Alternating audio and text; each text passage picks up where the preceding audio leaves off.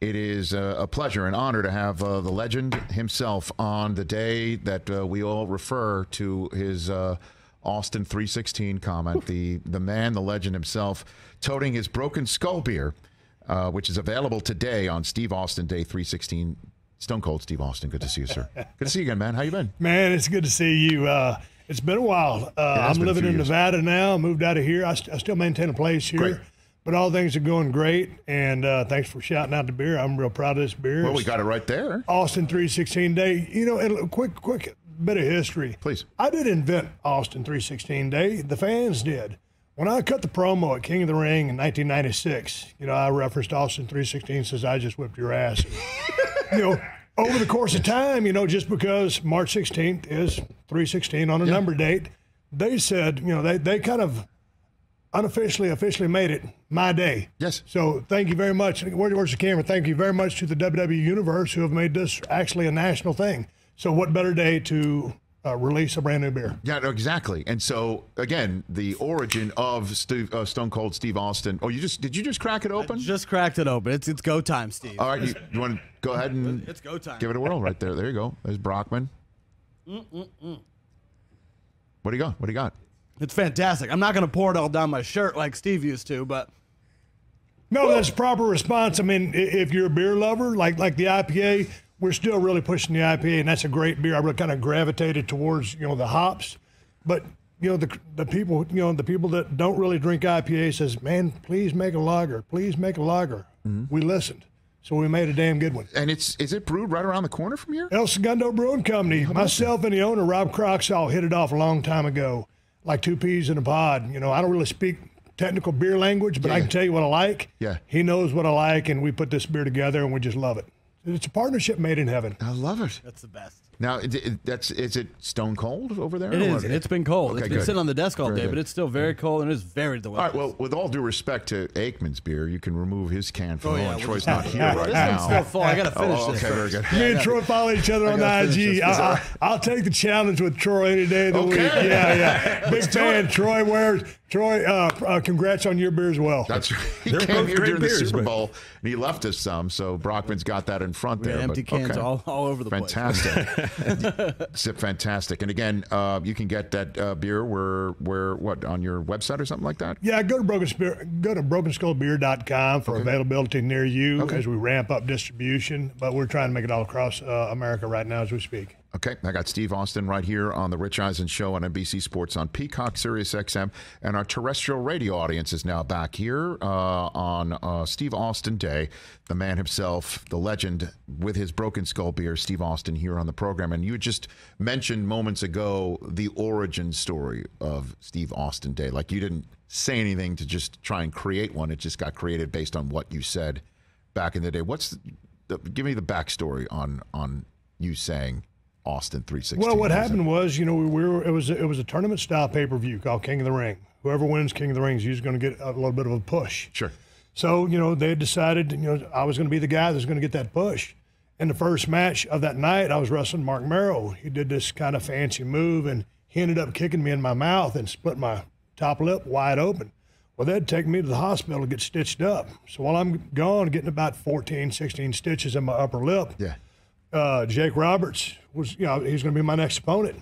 And he had kind of mentioned, uh, you know, that he needed God to help him through this. It's kind of religious based promo. It's where he was, you know, at that stage in his life. Yes. As soon as I stepped out of the ambulance coming back, I just had a pair of shorts on. I had my gear on and everything.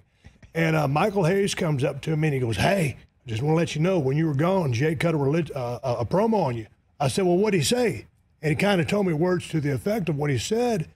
And I said, oh, as soon as he said that, uh, Austin 316 popped into my mind because back in the day, in the old football days, they always had the John 316 posters behind the, you know, the point after or the field goal attempt, right? Yeah. And I said, oh, man, I got one for his ass. and so I just spun that thing together and we went out, we went out there, you know, I wrestled uh, Jake. It was a short match because, you know, his ribs had been injured and we didn't want to uh, injure my lip anymore. Short match, go over there to do the promo with the guy that told me about the, you know, promo, Michael Hayes, and I just let it loose. Pretty much an ad lib, one of the things when you're on the fly and just gold starts happening, right? And I said, Austin 316 says you I just whipped your ass. And then as I kept on, Vince was doing the announcing. I knew I needed a button on the end of that promo, and I something I just pulled out of thin air. I'll say that. Yeah. I just pulled out of thin air, and that's the bottom line because Stone Cold said so. So I got two trademarks at. Uh, I would say I hit two grand slams at two at bats at an event I was never supposed to win. So you know, it was just something that I capitalized on. The timing was right. I was right, and I was ready. So magic happened that night. And so then it just organically, as we say, right? Yes. Just gained steam where fans started making T-shirts, or did W did the did the Wrestling Federation make the T-shirts up? or- Well, that was that was a funny thing When- when I'd come in. You know, Mark Henry, uh, Mick Foley, uh, Vader. So many guys were starting their debut by the time I came in. Well, I was coming in from, you know, a torn tricep in WCW, a little bit of a stay in ECW, and I didn't have a really good look. I didn't didn't have this complete package that I had, you know, now Or today. back then. Yes, yeah, uh, today, Steve. So you know, I was I was a ragamuffin. They didn't see no money uh, in me, and uh, one of the guys that ran the merchandise, Jimmy Miranda, sweetheart of a guy. And I'd always, you know, be sitting in the bleachers waiting on the show to start, and I'd see Jimmy talking to everybody about the uh, shirts. And I said, Jimmy, I said, the office ever got any T-shirt ideas for me? Nope, not yet, Steven.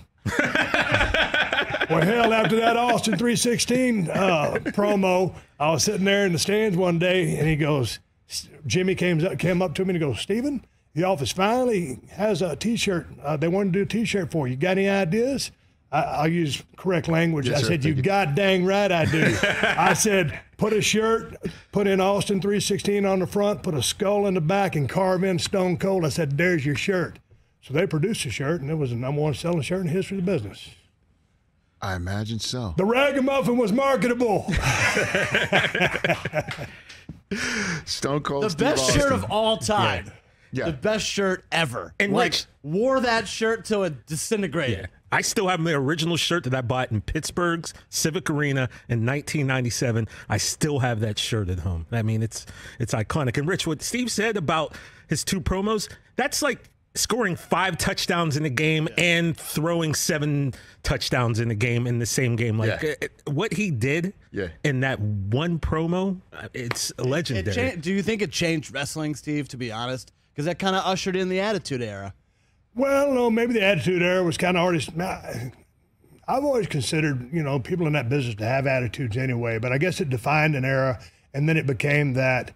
But you know, going back to those shirts, uh, my niece is going to law school in New York. She just took the bar, and then uh, my uh, daughter here in L.A. was shopping at these thrift shops. Is the thing to do, right? And they find these vintage shirts.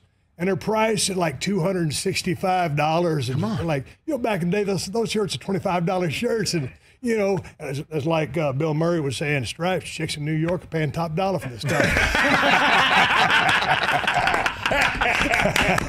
oh hell yeah! I guess what's old is new again, right? I guess. Oh, sorry. That's okay. Don't worry about it. It happens. But it's it's it's amazing. It's amazing how how things uh, and now you're going to go to Dallas for WrestleMania 38, home of the Dallas Cowboys, man. Uh, on April 2nd and 3rd, that'll be seen right here on Peacock. I mean, amazing. What if I had told you back in the day you're going to be at wrestling WrestleMania 38? I'd have told you I you was full of something. I bet, right? Yeah. But you know what? Th- this opportunity comes up. Kevin Owens starts running me down and gets my attention. And you know what? It was a thing where I kind of said, you know, I'm, never going to get in the ring again. Mm-hmm. And in this business, they always say, hey, never say never. And, but I said I would never get in. But, you know, prompted by the right person at the right time. Hell, I actually wish you'd have pissed me off a little sooner than it did to give me a little bit more time to prep. because once you go into that ring, man, that's just like stepping on a football field or, you know, onto a baseball diamond or in, onto a hockey rink. That, That's where business happens. And so we, we don't know what's going to escalate to. But, you know, really been working on my on my conditioning. And, you know, had it been anywhere else other than, you know, Jerry's place Yeah. down there. I saw George Strait on the Cowboy Rides Away tour, sold out 103,000, and it was amazing. So it's a two night event. You know, WWE is the biggest show of the year. I mean, uh, WrestleMania is the biggest show of the year. So to be a part of that is really special to me, and it get it. You know, I'm doing this for me. I'm going to go out there and I'm going to have a damn blast. I'm going to have fun, and I'm, I'm going to wear I'm to wear these two fists out on Kevin Owens, and I'm sure he's going to get some too because he's had an amazing career. and I'm glad that that he pissed me off when he did. Yeah. Why? Can I? Well, can I? I'll give you a story. Yeah. Long time ago, when I was still active in the ring, I was on the road somewhere. I think we were in Canada. I was about to get on an airplane, and this kid comes up behind me. It was Kevin Owens. Him and mm-hmm. another guy. He goes, "Hey, Stone Cold." He goes, uh, "My name is Kevin Owens. You know, I just want to know. I'm, I'm in the business a couple of years. Can you give me any advice?" And he started telling me about all the offensive moves that he was doing, stuff like that. And I said, "Kid," I said, "you need to stop doing all those crazy moves and learn how to run your mouth." He go, I said, "You need to learn how to cut a promo." And Kevin Owens is a student of the game. Now he cuts one of the best promos in the business, and he got my attention with his promo. So he's a guy that's had a career that many, many uh, would love to have. He's been in it over 20 years, longer than I have, and it's going to it's going to be an interesting challenge because in my documentary a while back on A and E, I said uh, as as an active performer, you never want to come off the road because if you come off the road, you get soft. An NFL football player tells you the same thing. You go through off season, you got to get calloused up and get ready to go, right? So he's ready to go, and so I got my work cut out for for me uh, on a Saturday, April second, two night event, April second, third, and I'm gonna be there whipping some ass. and so when you say you're doing it for you, what do you what do you mean by that? Well, when I left, I didn't want to leave. You know, WrestleMania 19, I you know my neck had presented some problems. Right. And uh, you know, after I'd gotten uh, spiked and dropped on my head back in '99, I had three, four fused up, and it was time for me to ride off into sunset and do something else. So this this comeback uh, means a lot to me, uh, as I've you know been getting back in ring shape, and uh, I'm gonna go out there and uh, do the absolute best I can. But I've said this, uh, I said this on, on my biography again. I, just refer back to that too many times here, but Go for it. you know, m- my wife uh, knows how much I love her. My family uh, knows how much I love them. Uh, my daughters and my stepdaughter know how much I love them. But uh, professional wrestling, they call it sports entertainment these days, is the number one passion in my life. You know, I like to hunt, I like to fish, I like to ride my four wheelers, but but the business of sports entertainment is in my blood. So to get a chance to go back on the on the world's grandest stage and one of the greatest stadiums of all time uh, means a lot to me. So I'm I'm doing this for the fans. I'm doing this for WWE, but I'm doing this for me, number one. Stone Cold Steve Austin here on the Rich Eisen Show on Steve Austin Day 316. Broken Skull American Lager available today. Um, uh, we have a game here, uh, Stone Cold, called Start Bench Cut, where you got to choose one, you got to bench one, you got to cut one. I've got three um, items for you, and we're gonna we're gonna run through them if you don't mind playing Start Bench Cut with us right here. Mind. Let's see if I got any good answers. Okay, here we go. Hit hit the drop right here, please. It's time. Start. Start now. Bench Just sit down and be quiet. or cut. Get out. Here we go. Start bench cut right here uh, on the Rich Eisen show. Can You I gotta- use the same answer more than once? Uh, these, they're different. They're. I, I think I got you'll, you'll you'll you'll Okay. see. You'll You'll, see. Okay. Uh, you got the uh, the music at least. There we go. Stone Cold Steve Austin. Start bench cut. You got to start one. You got to bench cut one. You got to cut one. First one is your favorite WWE segment. Okay, I've got three, four right here. There's the beer bash. Okay, where you drove a beer truck to the ring and you hosed down the Rock, Vince, and Shane McMahon. Number two is the grocery store fight with Booker T. Where you actually fought him in an aisle of a grocery store. The whole grocery amazing. The, the- the whole supermarket. The whole? Okay. supermarket. Uh, and then the third one is when you totally uh, assaulted Vince McMahon in a hospital room bed and hit him atop the head with a bedpan where you snuck in in full hospital gown and mask I'll to take it from hide here, your uh, your your identity. So you have to start one, your favorite one, bench one, which is kind of second place, and cut one. Which one? Stone Cold Steve Austin. It, that's really impossible. Well, that's, that's the, mean- that's the that's the one. I guess that's the whole idea of the game. You want to make it easy. Okay, I, I, I gotta. What's my time limit? Clock's ticking. you want to phone a friend? You can phone a I friend. I mean, all right, man. Every single one of those was a blast. I'm gonna cut Vince McMahon in bedpan. Oh, I'm, I just, no, look at the options you give me. the other ones are too. Yeah, yeah. You fought in the Okay, supermarket and then, for uh, okay. You know, going into, I think that was a go home promo for WrestleMania 15 against Yes. The Rock. Yep. Uh, you know, drive that beer truck in was the there, and then the other one is raising hell and where whatever town that was at the Green Frog grocery store doing ten thousand dollars with Booker T. I, I, it's hard for me to start, cut, or bench anybody. Right. I, I quit. Wait a second. Stone Cold don't quit. on this one, I mean, those are those are such iconic moments to me. I was like, I'd be disrespecting, you know, one of the guys by picking one over the other. The beer truck is number one. I mean, come on. You drove a beer truck. I and- try, I'm trying to be humble here. All right, next one. We'll move on. Here's the next one. Start bench cut. I don't know if they get any easier. Uh, start bench cut. You have to pick a tag team partner. Wow. Jim Ross, Paul Heyman, or Vince McMahon. Guys, yeah, okay. Uh, but I'm going with my guy, uh, Jim Ross. Paul Heyman is so instrumental in my career. Yes. If it wasn't for any of these men here, Yes. I wouldn't be here. So I love them all. And you, you- Vince McMahon would never hear me say that in a million years. But I'm going to go with Jim Ross on this because he was there when I had my neck surgery.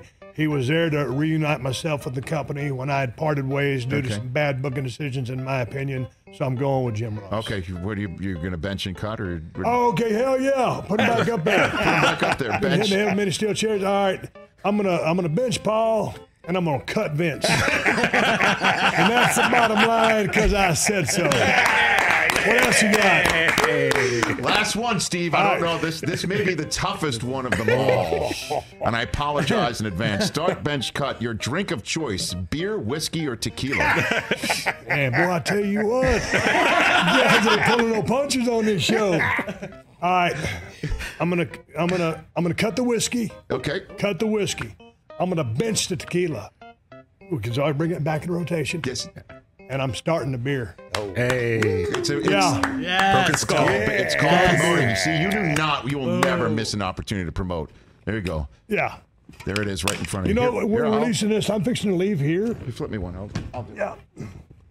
I'm leaving Oh, here to go nice right to the brewery because we got. Well, a- I mean, it's it's geographically sound, right? Yeah, right? geographically sound. You got a meet and we greet over this there, day, right? So uh, yesterday I was down there signing, pre-signing some stuff, and uh, had a couple, and then uh, like today I'll have a couple because you know it's the thing to do to party with the people that we're doing a release party with. Sure. Uh, but then it'll be back to hardcore training for WrestleMania 38 because, you know, I got a can of whoop ass. It might be the last can I have in me, but I've got one last can for Kevin Owens, and I'm gonna give it to him. In I like it. Fine fashion. I like. no, get up. Cheers, sir. Cheers. Okay. Here you go. Steve, we were a beer. watching that promo with Cheers. Coach. Here you go. The well, you one got to that- drink up. I got to. I got to. Okay. The here we one with Coach, where mm. it was kind of the height of the what era too, where you're That just is like, good. more Yeah. beer, what, more beer, what, some tequila, what, whiskey, what, just kind of got us fired Coach up. is for awesome today. because I was always trying to bust him. You know, to, to he's get- trying not to laugh I the know. whole time. I damn near had him a couple times, but he's such a pro. He, he was awesome. This is really good. Yeah. Hey man, it's good. You know, like the the IPA. You know, I, I was real Cheers, TJ. specific on that Yes, sir. because you know I like different. I like something a little bit more mid palate. I don't want to linger too long. I don't want to be too bitter. That beer was built specifically for me, and it's awesome. This awesome beer, but it, you know, in in a beer like this, you just want something you just drink a bunch of. and this is that damn beer. I mean, because you can't drink a whole bunch of those IPAs. I mean, you can and I can, but I mean, it, it's not advisable. Yeah, No. just to go drink ten Not of them. recommended. But you can drink ten of these. yeah.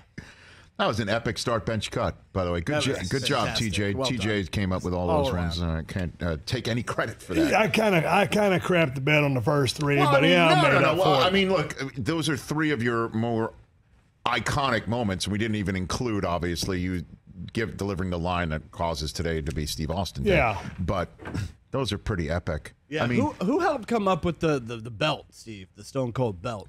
Hey man, that's a great question because I was, you know, hanging around before shows. We're always kind of kicking it, killing time. People wonder how you kill time. It's telling stories. A lot of guys played cards. A lot of times I'd be hanging out with Bubba Ray or Chris Jericho talking rock and roll. But at this point in time, I was hanging out the Road Warriors and uh, Animal and Hawk, and uh, they were sitting there and I said, "God dang, I was really starting to catch on fire." And the big thing back in the day, you know, if someone really blew the roof off the joint, you say, "Oh man, that was a Road Warrior pop." So Road Warriors are really over, right? And uh, they said, "Steve," they said, "You ought to have your own belt. You ought to have the Stone Cold belt." And I guess I ran that by Vince, but it was the Road Warriors' idea to come up with that belt, and we did. Whose idea was it to hit him with a bedpan? Was that just you saw? No, that was Vince's idea. Vince said, "Hit me oh, with a yeah. bedpan." Oh yeah, well, man, Wow. that segment is so much gold in that. Me and Mick Foley are in this tiny closet while Vince is doing his stuff, and he breaks out Mr. Socko and says that's about to be his new finish maneuver. And we're in there like you know, two big ass guys in a little bitty room just laughing our asses off. and they said, Hey man, you guys got to keep it down while Vince is doing his stuff. And so when I found out I was going to hit him with that, you know, that thing is stainless steel. And so I'm bouncing it off my head, trying to get the right acoustics and try to find that sweet spot. you know, because you know when your boss says you got to lay me out, he's already laid out. But when you got to hit somebody with a bedpan and you're in the middle of a hot angle, mm. you don't want to just go dink. You got to rear back and bring it. So I just found the sweet spot on my head, and then on the fly, you know, I'm, I'm an expert at hitting uh, hit, hitting people with certain objects. yeah, and so it worked out great, and people still talk about that moment. like us. Yeah. Like here in this day. All right. Cheers to you. uh, everybody, uh, what you said, um, brokenskullbeer.com. Is that where Yep, people can broken get Sp- very good. brokenskullbeer.com. And uh, it is really good, man. And then, um, by the way, our kudos to our refrigerator. This thing is Absolutely. really cold, right? Ice I mean, cold. this Yeah. is ice cold. It's stone cold. And I also. Rich, the, the Yeah. moment Steve was talking about when it all happened, I told you earlier, that's the t shirt I have on the day. The moment that he uttered those That lines is. to Michael Hayes, Doc Hendrix, who he was at the time, and wearing that today in honor of the man and drinking some beer. It's a As great Mick day. Foley said, you know, as Mick day. Foley said, he goes, you know, I could have cut that promo just like I did, and it would have been great. But the fact that I was stitched up, there's a little bit of blood in my mouth, just kind of added to the. It was an exclamation point on the promo. It certainly. Great notice by Mick Foley. At Steve Austin BSR on Twitter and Instagram.